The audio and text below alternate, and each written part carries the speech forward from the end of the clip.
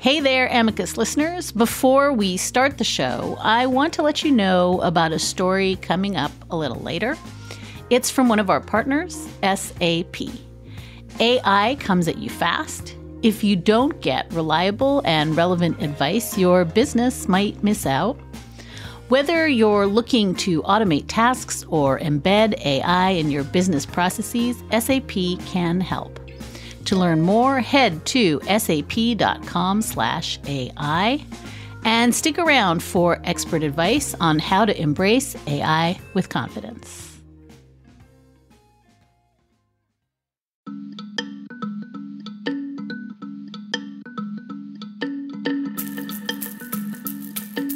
Hi, and welcome back to Amicus. This is Slate's podcast about the courts and the law and the Supreme Court and also the law of Donald J. Trump. And also, it's podcast about what happens when each and every one of those subjects is a full time raging house on fire. I'm Dahlia Lithwick. I cover the courts and the law for Slate, and this week was busy at the Supreme Court in a dozen small ways, but at least as of this particular taping, not in the big Trumpy ways we've been looking out for. This week we wanted to lift our necks out of at least some of the rising quicksand and talk to one of our favorite experts on the twin topics of democracy and despair. Professor Richard Hasen's latest book, A Real Right to Vote How a Constitutional Amendment Can Safeguard American Democracy, was published this past week by Princeton Press. In it, he argues for enshrining an affirmative and immutable right to vote in the Constitution itself. Rick has been more or less on the friends and family plan here at Amicus uh, from the jump, including his stint as co host of Election Meltdown, a series we did dedicated to imagining what could possibly go wrong in an upcoming presidential election year all those centuries ago back in 2020. Rick is here today to discuss constitutional amendments, the Trump cases at SCOTUS, and to preview the forthcoming social media cases that will be heard at the court next week. Later on in the show, Slate Plus subscribers are going to get a chance to hear our members only conversation between me and Mark Joseph Stern about some SCOTUS news this week, including a warning shot from Justice Samuel Alito about the future of marriage equality and a Pennsylvania Supreme Court decision on the Second Amendment. Mark also has some fairly chilling words about the implications of Alabama Supreme Court's unprecedented IVF ruling that came down last weekend. If you are not already a subscriber, but you'd like to listen in, head on over to slate.com slash amicus plus for details on how to become a member. Or if you're listening to us in Apple Podcasts, you can click try free at the top of our show page. And to our Slate Plus subscribers, thank you, thank you, as ever, for supporting the work we do here on the show and at the magazine. But now I want to welcome back my old friend, Rick Hasen, who teaches law and political science at UCLA. He directs UCLA Law's Safeguarding Democracy Project. He also helms the indispensable election law blog, and his new book, A Real Right to Vote, dropped this week it argues for a desperately necessary constitutional amendment to protect the right to vote for everyone. His prior books include Election Meltdown, Cheap Speech, and The Voting Wars. And his writing appears pretty much everywhere that the right to vote is still prized in America. So, welcome back, Rick, and congratulations on the new book. Well, thank you so much. When I was uh, giving one of my first book talks in Washington, D.C., I could see out of the corner of my eye the paperback of Lady Justice watching over me. So I felt uh, very good in my uh, talk with Jamie Raskin and Sherrilyn Ifill. Oh, nice. Well, no better way to launch. Um, I wonder if we can start with the news, Rick, and move to your book. And on the news front, our cup runneth over. We're awaiting not one, but two vitally important intercessions from the U.S. Supreme Court on a pair of unrelated but kind of connected Trump cases. The first is the ballot disqualification case out of Colorado. The court heard that two weeks ago. The second is this blanket immunity uh, claim that is awaiting some kind of adjudication so that the January 6th trial that's been on hold in D.C. can sputter back into life. I wonder if you have any kind of top line thoughts about this kind of waiting for Godot, waiting, waiting, waiting moment that we're in right now. As the Supreme Court, which is thinking a little bit about its own legitimacy, also weighs these potential game changing cases. So, the first thing to say is that legally speaking, these two cases really have nothing to do with each other. One case is about whether, under Section 3 of the 14th Amendment, Donald Trump is disqualified from serving as president because he participated in insurrection after taking an oath to uphold the Constitution. The other case involves whether or not a president has absolute immunity from criminal liability, even if the crime he's accused of is trying to steal the next election. Those two things are not directly legally related, but they're before the court at the same time. And as I wrote in Slate a few weeks ago, it's easy to see a kind of political compromise here where the court says, uh, Colorado, you can't take Trump off the ballot. That's a choice for voters, but we're going to give voters maximum information about whether Trump is, in fact, an insurrectionist by letting that case in Washington, D.C. over his election interference in 2020 go to trial. That's a plausible outcome. We'll see. By the time people listen to this, we may know what the answer is to these questions. The subtitle of Amicus is now Experts Speculate Wildly in Real Time. But do you want to take a quick stab at why it is that, at least on the immunity appeal, which I think a lot of us were expecting a couple days ago, the court clearly has had time to think about it and dispose of it if this was going to be simple. Apparently, it's not. Do you have any thought on what the holdup is and what it might portend for the fate of the immunity argument at the court? Well, I remember a few weeks ago, you and Mark kind of gamed out what all the different options are and how weird it is because there's this uh, different number of justices needed to put the thing on hold to stay it versus to actually agree to hear the case. It's easier to hear the case than to stay it. I think if the court, and here, you know, I'll just go out on a limb and say, uh, if the court was actually going to do what Jack Smith, the special counsel, suggested it do, which is if you're going to take the case, take it quickly, set it for a quick oral argument, just like is being done with the Colorado case, then we would have heard that already. And nobody would have written a dissent because they could always include their dissent later on when the court rules on the merits. So the longer this goes on, the more it seems to me the court is going to let this thing go to trial. And then somebody, and it rhymes with um, mojito, uh, is going to be writing something that is going to say that this is the end of the republic as we know it. I didn't think that's where we were going to be. I thought that the court would actually take it. I mean, how could they let the DC Circuit be the last word? But then I realized, you know, this is an interlocutory appeal. That is, it's an appeal before the trial. The Supreme Court could issue an order saying no stay. And of course, these issues may be presented by Mr. Trump should he be tried and convicted of these crimes, and we can always address those later. So maybe that's what's going to happen, which would be a good thing. And I think provide the public with the information it will need in order to decide whether or not to re elect Donald Trump to office for his third term, right? Since he says he won in 2020. Yeah, and, and, and certainly not his last term if things go the way he wants. Um, Justice Mojito's dissent almost writes itself if the scenario that you posit is the one that's coming. I do want to, before we leave this topic, pivot to something that I feel like you think about as fretfully and as meticulously as anyone, which is this legitimacy question. Because what the court is now sitting on is not one, but two, as you noted, related but unrelated hand grenades. There are certainly more to come. And I think, and we'll talk about this in the context of your book, there's going to be a lot to come uh, around the 2024 election.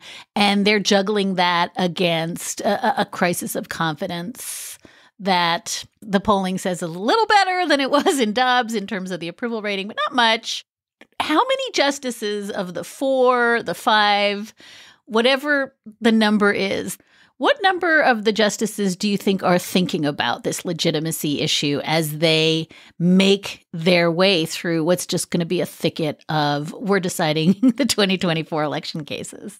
I'd put in that camp Roberts, obviously, Kavanaugh, maybe Barrett, who's kind of been a surprise in some ways in terms of her not being with the YOLO justices, who I would say are Alito, Thomas, and Gorsuch. Gorsuch is a little different than Alito and Thomas. I think he's probably less predictable on certain things. And you've got to figure the three liberal justices are going to just take whatever they can get in terms of things that further democracy. So it's hard to call them the center of the court because it's so off center, but relatively speaking, that is the group that we're looking at. Alito, Thomas, and Gorsuch are far to the right, and then you've got this block in the middle of Roberts, Barrett, and Kavanaugh, and then you've got uh, Kagan, Sotomayor, and Jackson to the left. So if you think about it in that way, you know, all the cards are being held by justices that may actually care about the reputation of the court. You know, I was just teaching this week the Bostock case, which is the case involving gender identity and, and sexual orientation discrimination, whether they're covered by Title VII. And at the end of Kavanaugh's dissent, he does this Obergefell Roberts move to say, you know, I'm dissenting, but I congratulate my gay and lesbian friends on their victory here today.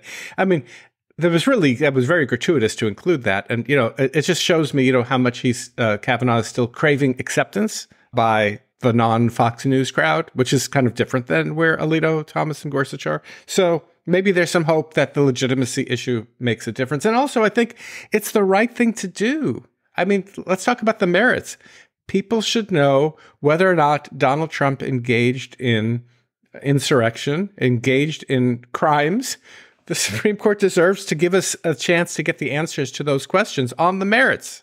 I want to ask you one other news question and then we will turn to your book. But this is more kind of doomsday clock slash election slash money slash Trump news.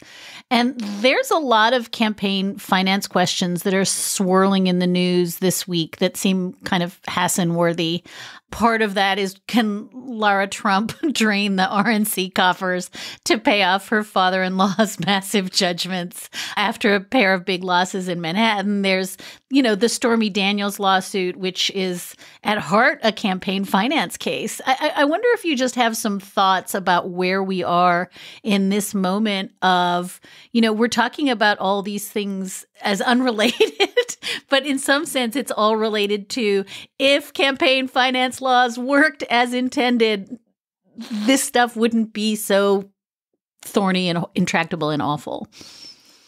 It should be a no brainer that a political party cannot pay the restitution that is owed by a person for committing business fraud. I mean, the whole point of disgorging profits is that you're taking the ill-gotten gains away from the wrongdoer. The whole point of punitive damages, remember in the E. Jean Carroll case, it was I think over $60 million in punitive damages, is to punish the wrongdoer.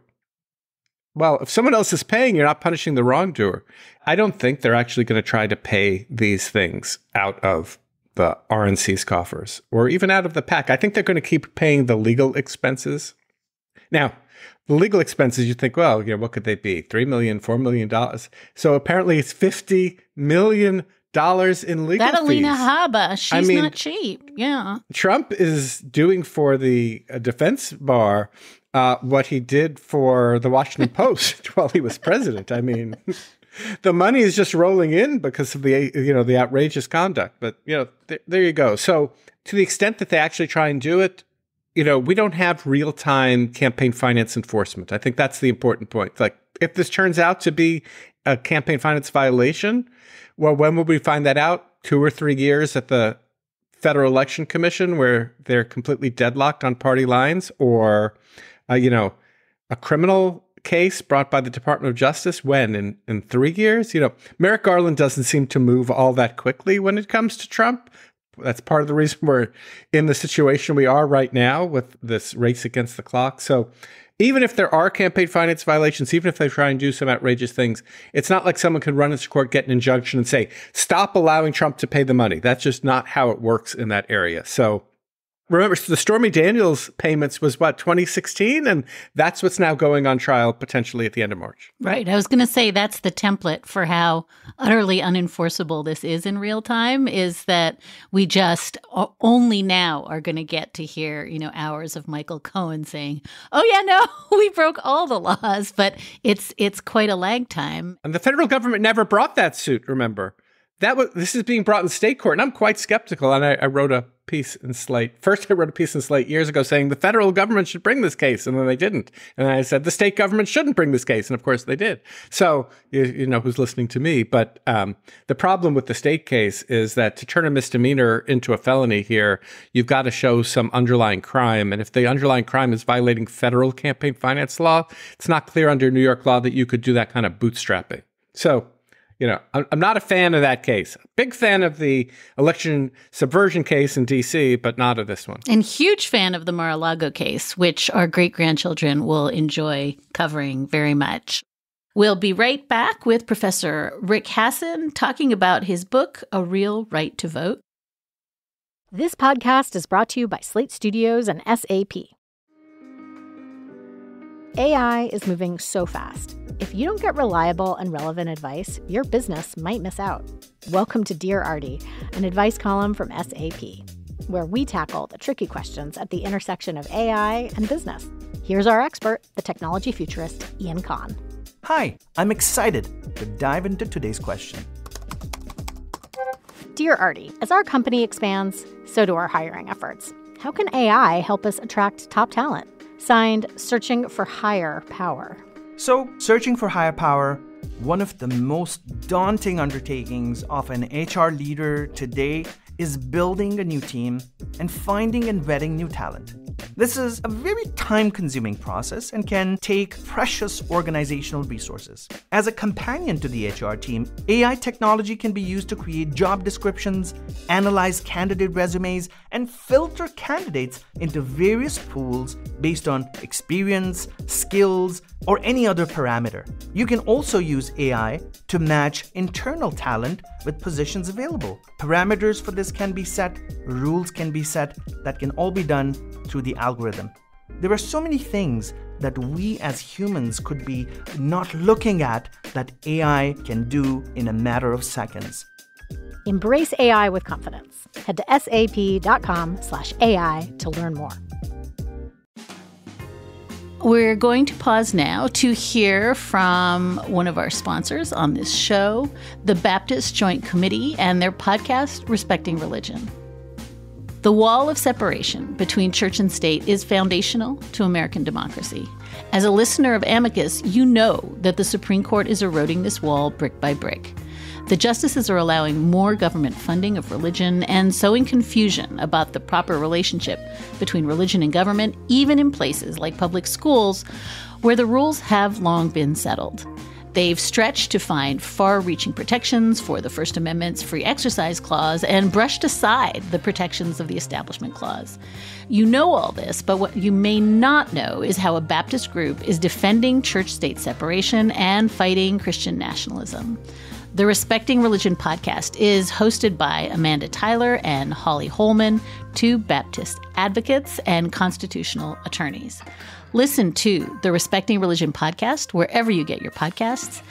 If you're worried about the Supreme Court's decisions on religion, the rise of Christian nationalism, and use of the term religious freedom to harm others, you won't want to miss an episode.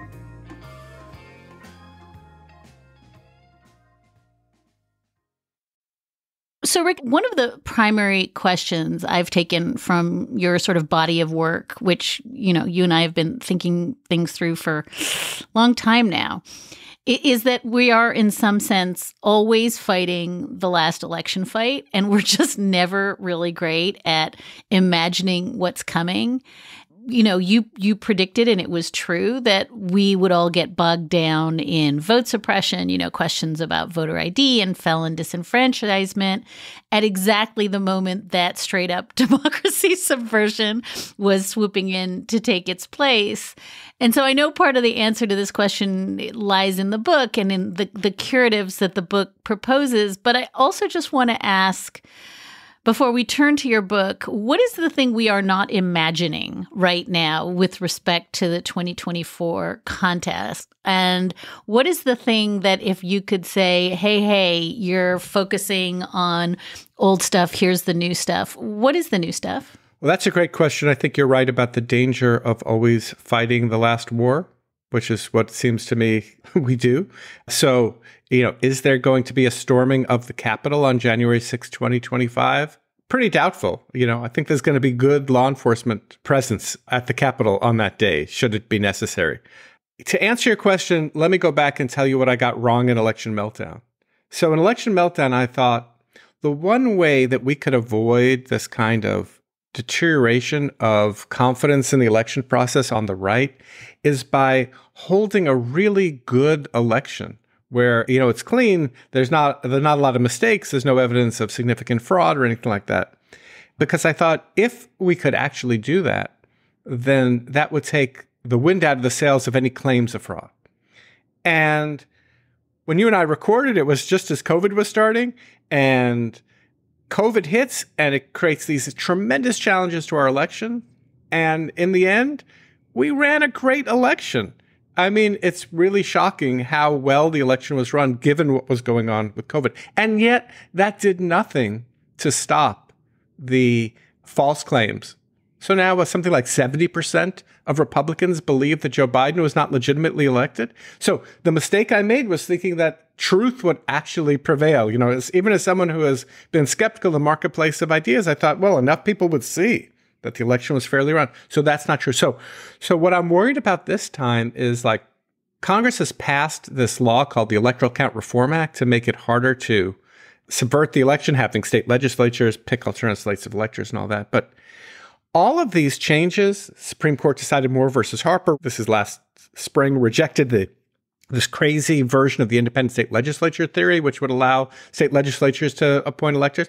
But all of these things for them to work depends on the idea that people are actually going to follow the law and they're not just going to use brute force to determine the winner. So let's say that looks like Joe Biden has squeaked by in the electoral college, but Republicans control both houses of Congress. What's going to stop them from just ignoring the Electoral Count Reform Act and just deciding that Donald Trump has won the election? Um, how much is law going to be constraining at this point? And the transformation, what Donald Trump has done to the Republican Party, is really frightening because the Law and Order Party is backing someone who is likely to be convicted of a crime and likely engaged in crimes over a number of years, both in his private life and in his political life. And so, if we're going to have lawlessness, then we're really going to be in trouble. And so law may only constrain people who are willing to be constrained by the law. Did that frighten you enough? I was going to say, and this is just an inside baseball election meltdown joke, but I will say, like, roll up that rug of despair and bring in the like massive wall to wall carpeting of doom, right? Like, this is this is quite scary. Uh, it does lead, of course, to the amazing new book, and I think you know one of the things that you go deep on and this is right is that you know the courts are not going to save us and you talk about the long sordid history of vote suppression and the ways in which The courts have done yeoman's work over and over again, with the exception of a few blips, in terms of thwarting the right to vote and also, as you note, thwarting congressional efforts to bolster the ability to vote.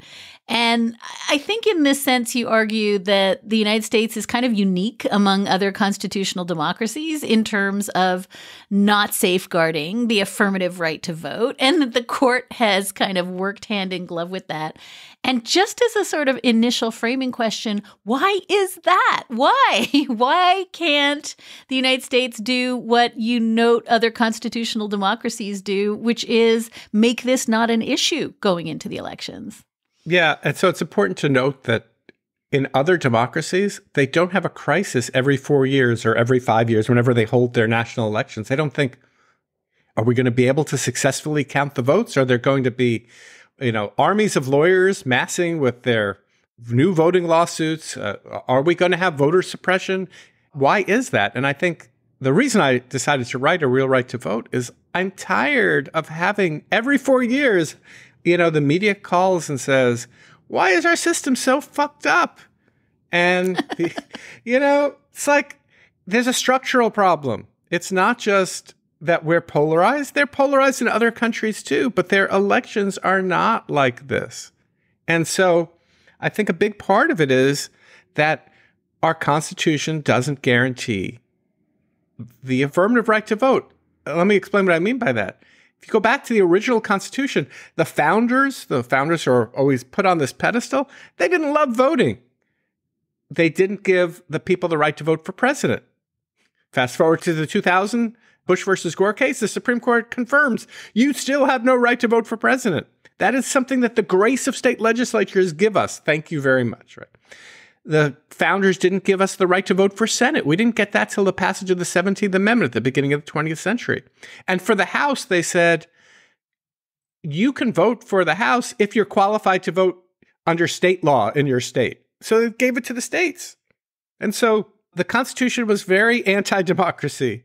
And throughout history, as you said, the Supreme Court was not protective of voting rights. So I'll tell two quick stories one of Virginia Minor and one of Jackson Giles. Virginia Minor goes to the Supreme Court in the 1870s. She said, Look, we just passed the, we had a civil war. We passed the 14th Amendment. It guarantees citizens the privileges or immunities of citizenship. I'm a citizen of Missouri. I'm an adult. They're not letting me vote here. Why? Because I'm a woman protect my right to vote. And the Supreme Court said, yes, the all male Supreme Court, I should say, said, yes, you are a citizen, but privileges of citizenship does not include the right to vote. So go to Missouri. And it took another more than four decades to get the passage of the 19th Amendment. The other story, even worse, Jackson Giles, 1903, goes to the Supreme Court and says, you know, we fought the Civil War, passed the 15th Amendment that says if you're going to hold an election, don't discriminate on the basis of race. I'm an adult, citizen, resident, non felon of Alabama, but Alabama's not letting me register because I'm black. And the Supreme Court said, yeah, you know, that is what the 15th Amendment said, but too bad. There's nothing we can do about it. And it's not until Congress comes in and passes the 1965 Voting Rights Act that we get the actual registration of black voters in Alabama and, and, other places like that. And of course, by fast forward to 2013, the Supreme Court says, sorry, the Voting Rights Act, which was once constitutional, no longer is when it comes to requiring states with a history of discrimination like Alabama when they try and discriminate. So the Supreme Court's not been the protector of voting rights, so we're not getting it there. Why not directly in the Constitution? Uh, because we've lost our muscle memory when it comes to amending the Constitution. The last voting amendment to the Constitution came in 1971 before a majority of Americans were even born. Doesn't that make you feel old, Dahlia? I had to look up that statistic. Yes. yes. Thanks. Uh, so 1971, 18 to 21 year olds who were being drafted into the Vietnam War. Uh, they get the right to vote in 1971. We haven't done anything since then. What does it take to amend the Constitution? Two thirds of each House of Congress three quarters of the states. These are very high bars. It's really hard to do. You know, which raises the question, which we can talk about, like, why am I even proposing this when Democrats can't even pass, you know, a revised Voting Rights Act statute? But the problem is that our Constitution is too hard to amend and that it's old. And so the newer constitutions actually protect voting rights. It's in their constitutions, and ours does not have that. So we're going to get to the why are you even doing this question, but I want to just give you a chance to put some meat on the bones, Rick, and tell us because you are very concretely propose what constitutional amendments might look like. Can you just give us like walk us through what if if we were to do this, if we were to come together as one and amend the constitution with these extremely hard, high bars that you just laid out, what does it do to deter the mischief that we're seeing in states that are kind of ever bolder and more creative in uh, trying to suppress the vote? So the you know the two villains here are the states and the Supreme Court. And my amendment would address both. As to the states, it would say, first of all, it would say that people have the right to vote for president. So states couldn't take that away. It would change Article 2 of the Constitution that vests in state legislatures the power to choose the matter. So we wouldn't have to eliminate the Electoral College. We could keep the Electoral College. And then in each state, we would just say the winner has to be the winner as chosen by the people, right? So that's one thing we could do. But in addition to guaranteeing the right to vote in all elections for citizen, adult, resident, non felons, we could talk about those categories too if you want. Uh, in addition to that right being affirmatively put in the Constitution, it would say a couple of things. One, states can't impose burdensome election laws. And I define that in a much more serious way. So, just to give one example, people shouldn't have to wait more than 30 minutes to be able to vote if they're waiting in line on election day. That should be a standard, something like that. So, we could talk about burdensome voting rules, and states would have incentives to avoid being found liable under this amendment to offer voting opportunities, whether that's vote by mail or early voting, but things that, that allow that. And states would have to treat voters equally. So that's that's one set of protections. The other is it would essentially take Section 2 of the Voting Rights Act, at least as it had been understood before the Supreme Court recently weakened it, and enshrine that in the Constitution. And so the, there would be protection for minority voting rights. So these would be the things primarily that would go after the states.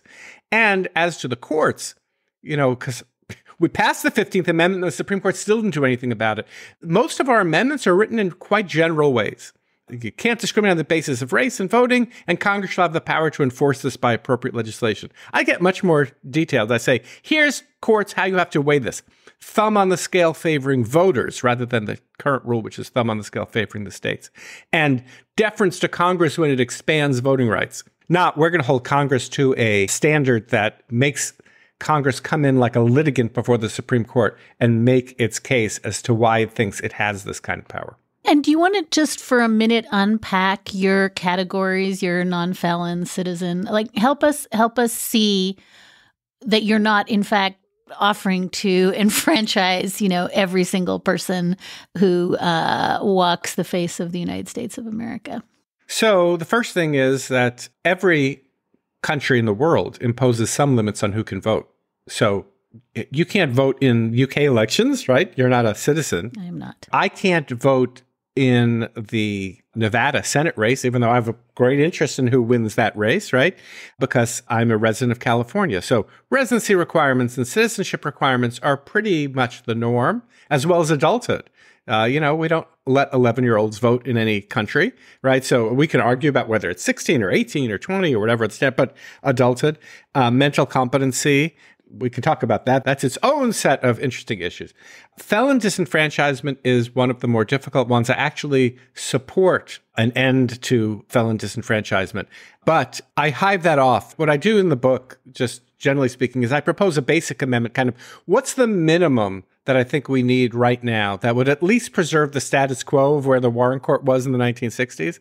And then I have these add ons, one for former felons, one for people who live in U.S. territories like Guam or American Samoa or Puerto Rico or Washington, D.C., one for dealing with the Electoral College, and one for dealing with the Senate. And the reason I separate this out is I think that there is, and I'm not talking about in the next two years, but say in the next 20 years, I think that there's a case that there could be a bipartisan interest in an amendment to the Constitution guaranteeing the right to vote, in part because the Republican Party is changing and is appealing more to voters who are poorer, who are less educated, who are more likely to be disenfranchised by strict voting rules. So I tried to think what's the minimum? And then, you know, how would we add to it? So that's why I draw those distinctions. So now we have the, I'm waving the book around uh, for listeners, but now we just do inevitably get to the grumpy old man question, Rick, which is how do we possibly get two thirds of both houses, three quarters of the states to like do anything at all in a climate that is inclined to do nothing ever. And as you noted, we can't even get this passed as a matter of statutory protection for the right to vote. And I guess the follow on is what do you do about a court that even if this were to pass would just Shelby County it and say no we'll let you know what is and is not constitutional right so i think you need to think about a different time horizon and so i'll go back to the story of virginia minor so when you think about the enfranchisement of women in the united states you can go back all the way to Abigail Adams. I mean, there have been attempts, you know, and when, and when Congress after the Civil War was thinking about the Reconstruction Amendments, there were attempts to try to get women enfranchised in the Constitution that were unsuccessful. So the idea of women enfranchisement is as old as the United States. But the movement really took off after that Supreme Court decision in Minor versus Happersett, when the Supreme Court said, sorry, women, this is a question of state law. So what happened was there was political organizing in the states, and over decades, women and their male allies were able to change 30 state constitutions to guarantee women the right to vote. It was a political movement that was oriented around voting rights and was ultimately successful. So one answer is we need a longer time horizon. Maybe this will be what our children or our grandchildren are going to be dealing with, but I wanted to frame the issue because, you know, we talk about voting rights in a kind of scattershot way where it's like, what's the latest voting lawsuit that's coming up? Which is, you know, kind of how we start our conversation, as opposed to thinking about it holistically and, you know, how our system is just systematically messed up. The other point is that organizing around a voting rights amendment will pay dividends along the way. Just like in the 19th Amendment context, women started getting their right to vote in states. The same thing would happen here. And this leads me to the point about the courts. If we actually can get to a point in the United States where there is enough support for a voting rights amendment, the Supreme Court is going to be hard pressed to push against it, especially, you know, I've written it with the textualists in mind, with very explicit instructions. Courts, here's what you have to do. So there'll be less wiggle room. Now, could Sam Alito find that wiggle room? Absolutely. But I'm hoping if we still have law, that law would actually be applied. And after a while, this would be something that uh, the courts would have to give in on. And the last part of my amendment adds further power to Congress's ability to protect voting rights. And so, you know, that would create a confrontation. And if the court is recalcitrant, well, then that's the time to pack the court. The other thing is, you know, I said that this is kind of a gambit to the right. Like, here's something that I'm proposing that not only promotes voter equality, but also promotes election integrity because it requires voter registration and a form of national ID. I mean, this is something that should please those on the right who claim that they're worried about election integrity and would make stealing elections harder. So if it turns out that there's complete resistance, well, then that's an argument to blow up the filibuster next time Democrats control the presidency of the House and enough of the Senate to get 50 votes for the context of passing voting rights. You know, if we can blow up the filibuster to pass budgets, if we can blow up the filibuster for nominations for executive and judicial officers, how about for democracy? Isn't that as important? That was a pitch I made in Slate back in 2018. And, you know, they couldn't get Manchin and Sinema and some other Democrats, we think, to be able to go along with passage of the For the People Act or the John Lewis Voting Rights Advancement Act. But if there is continued resistance to protecting voting rights muscularly in the Constitution, then maybe these other measures could be put out there. And that would be a way to attack both the courts and those who resist voting rights. I love what you're saying because I think it makes this really important point, which is that people are shocked, and you note this in the book, when they realize they don't actually have the right to vote. They don't have it, it's not protected in the Constitution.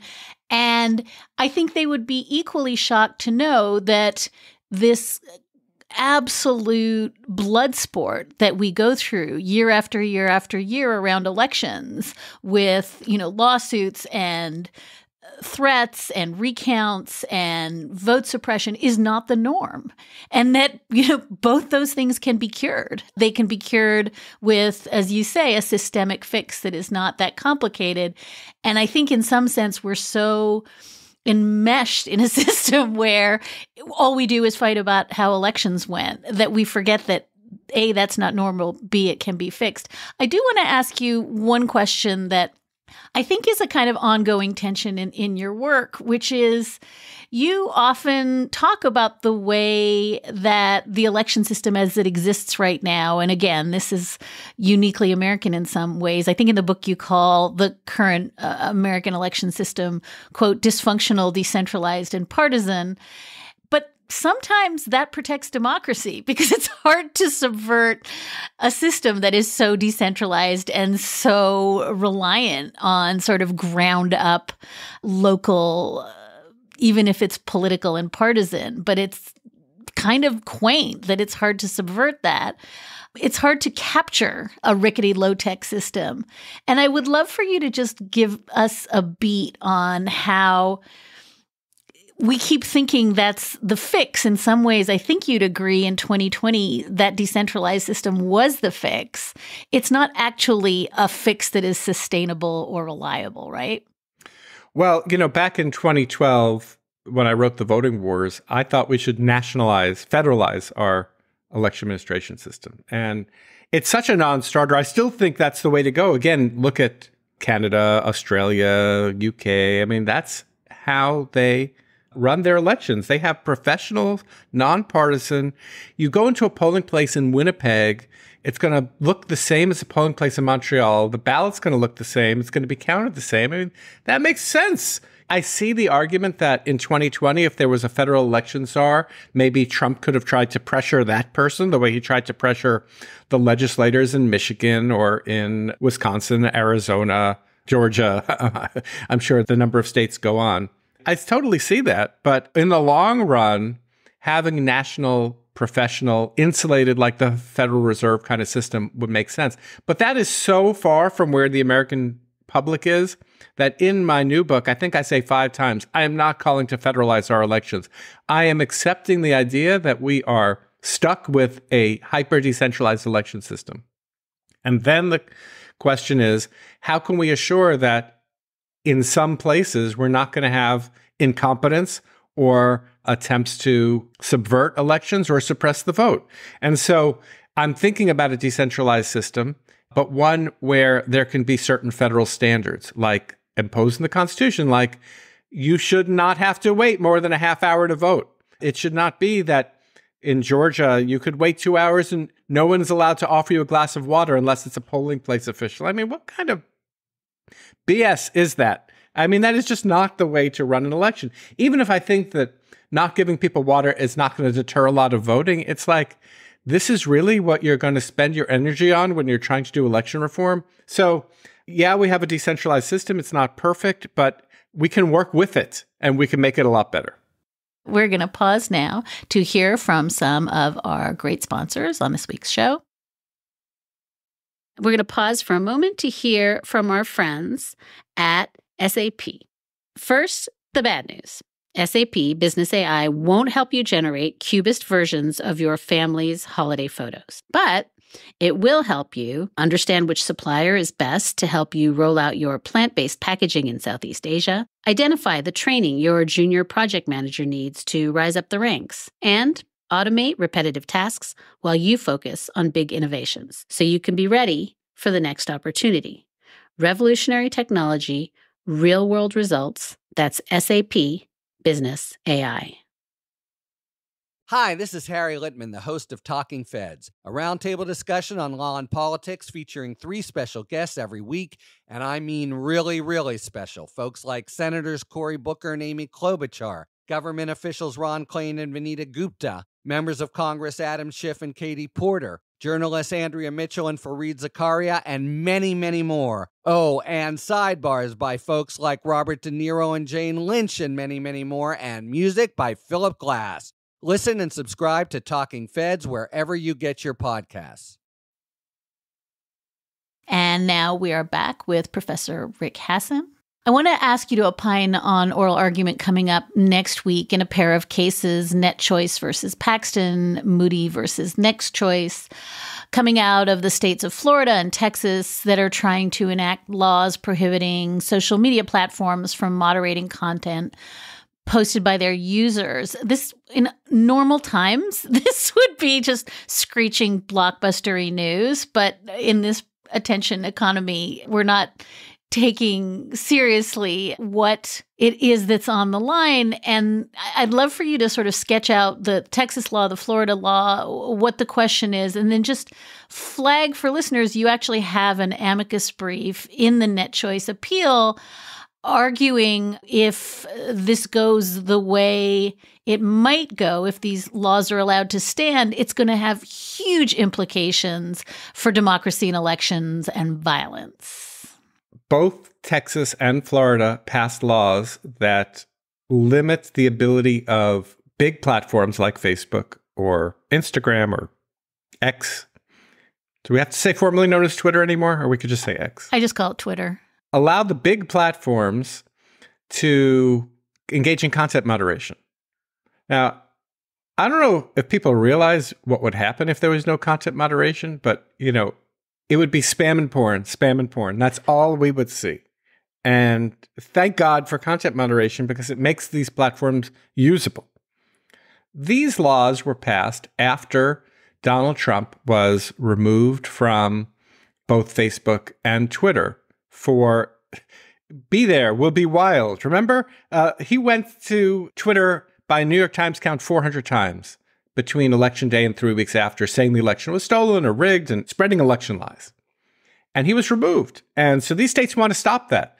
They want these platforms to be thought of as like the phone company.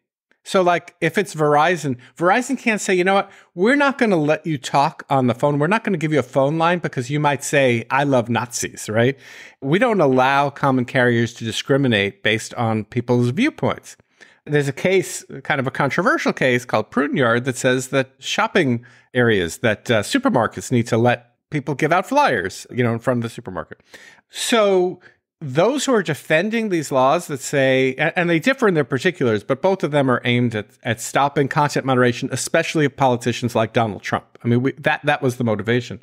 These laws are being defended on grounds that the platforms even though they're private actors, they're like utilities or like the phone company, and therefore you can make them carry speech and you can't let them moderate the speech. So, you know, if these laws are upheld, Donald Trump wants to lie and say, you know, the election was stolen or the election's about to be stolen, go to the Capitol, these statements would not be removable. And I think the better analogy to what the platforms are doing is that they're like newspapers they curate content in a way that people can understand what it is that the platform stands for. So if you go to Truth Social, you're going to get a very different view of the world than if you go to Facebook. And there are platforms for Democrats, there are platforms for libertarians, right? And we know what happened to Twitter when Elon Musk changed his content moderation policies. People left, advertisers left you know, like you don't want to sell soap next to a white supremacist.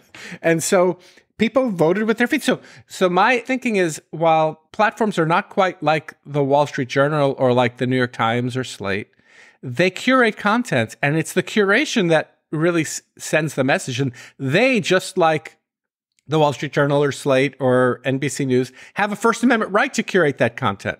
There's a old famous Supreme Court case called Tornillo, where Florida, same same state, had required a right to reply in a newspaper. So if the newspaper says something about you, you had the right to reply. You had the right to access to the newspaper's op-ed page. And the Supreme Court said that's unconstitutional. The newspaper decides. You can always put your speech somewhere else. Now, back when they said that in Tornillo, there was no other place to put your speech.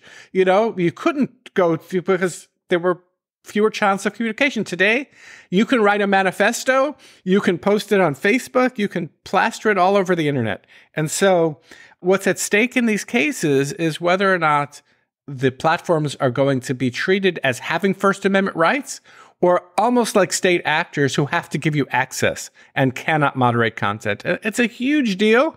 And if we were living in normal times, it would be something everybody is talking about. But of course, we're not living in normal times. And so we barely had time to talk about this.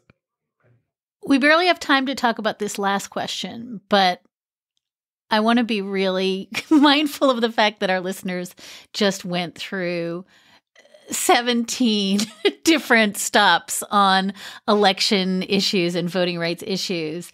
And it's a lot. And I want to take you back to something that you and I really think about again, I think in some sense it's a spiral we both live in, which is that at the end of the day, the right to vote is only as secure as public confidence that voting works and that their vote matters. We learned this a little bit when we did Election Meltdown, when some li- listeners said that we were, in fact, by even talking about what could go wrong in the elections, depressing confidence in voting, when I think we were actually trying to sound an alarm and to at least think through some fixes.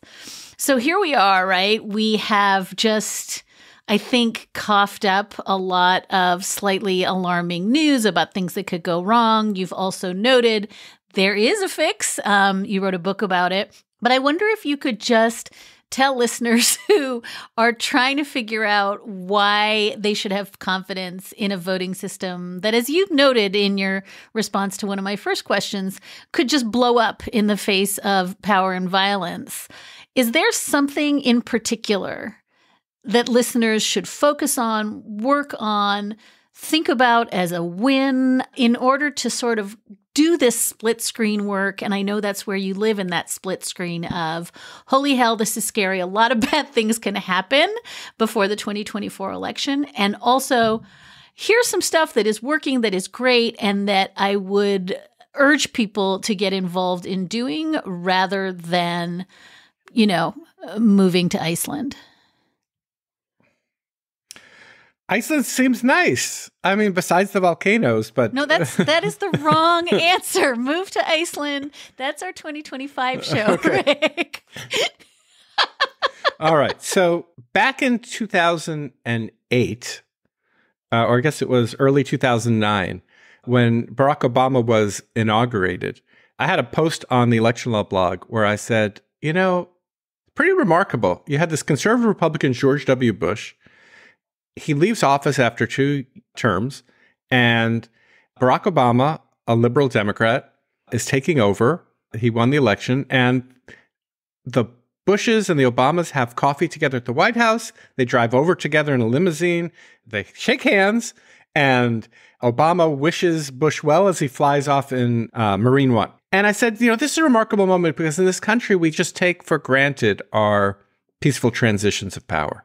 It's like nobody even thinks about our democracy. It just kind of it it it works itself. And I thought this is a remarkable moment. It's worth taking note of it.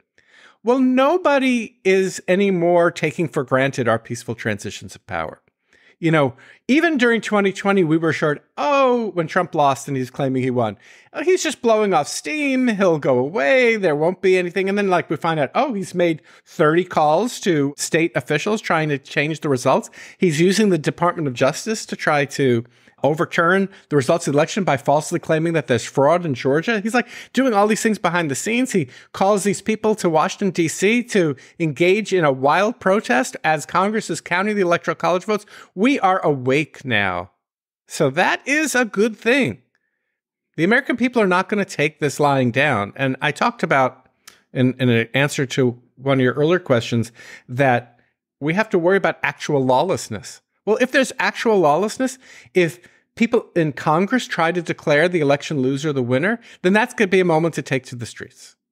That's a moment when, you know, the, the people needs to protect democracy. Sometimes it's the courts, sometimes it's Congress, sometimes it's the people. And so my message is one of vigilance. It's not one of optimism, but it's one of vigilance. It's to say, look, you know, the system is in danger. It's in danger in a way that I never expected it would be in the United States. It really surprised me what's happened to the deterioration of democracy in the United States in the last decade. But we're awake. We know that lots of things could be done. There are groups out there. Uh, I listened to uh, an episode you had a couple of months ago with Ian Bassin of Protect Democracy. There are real American heroes out there who are looking to protect our democracy. We have a decentralized system. There are lots of places to get involved. It's very easy to turn off the podcast and not listen because it's too depressing. That's what I do when I hear something about climate change. I just, you know, can't deal with it, you know, but we've got to do something to be prepared to protect our democracy should it be necessary. And so pay attention, get involved, especially in your local area, because in our decentralized system, you can have some ability to ensure that free, fair elections are happening in your local area. And you have listeners all over. Go out and see what's actually happening in your communities. I, I, love what you're saying, Rick, because it dovetails with, I think, some of the messaging we had to think through post Dobbs, where there was this like, wait, it's not going to happen. It's not, it happened. And then, I, you know, I think I'll lie down and sob. And I think that there is some utility when the scales fall off your eyes. Um, to realizing that the thing was not, as you said, self effectuating. It was not made of magic, but also that it's a moment to step up and bolster uh, the weak parts. And one of the reasons your book is really, I think, a nice read right now is that this stuff is not unfixable. It's eminently fixable. And it's just always good to have guidance from people who've been thinking about this as long as you have. Rick Hasen teaches law and political science at UCLA, directs UCLA Law School's Safeguarding Democracy Project, helms the absolutely indispensable election law blog. The brand new book is called A Real Right to Vote How a Constitutional Amendment Can Safeguard American Democracy. And it dropped this week. Rick's prior books include Election Meltdown, Cheap Speech, and The Voting Wars. It is always a pleasure, although very eye opening and always slightly alarming ways to talk to you, Rick. Congratulations on the book. And thank you so, so much for this incredibly, I think, useful and centering work. Thank you, Dahlia. And I, I want to say that, you know, I end a real right to vote with the line democracy is not going to protect itself. And you've been out there sounding the alarm, making sure that we know that the future of American democracy is in our hands. Aw, aw, thank you. And that's a wrap for this episode of Amicus. Thank you so much for listening in, and thank you so very much for your letters and your questions and your feedback. You can keep in touch at amicus at slate.com, or you can find us at facebook.com slash amicus podcast. Sarah Burningham is Amicus's senior producer. Our producer is Patrick Fort. Alicia Montgomery is Vice President of Audio at Slate. Susan Matthews is Slate's Executive Editor. And Ben Richmond is our Senior Director of Operations. We will be back with another episode of Amicus next week. And until then, hang on in there.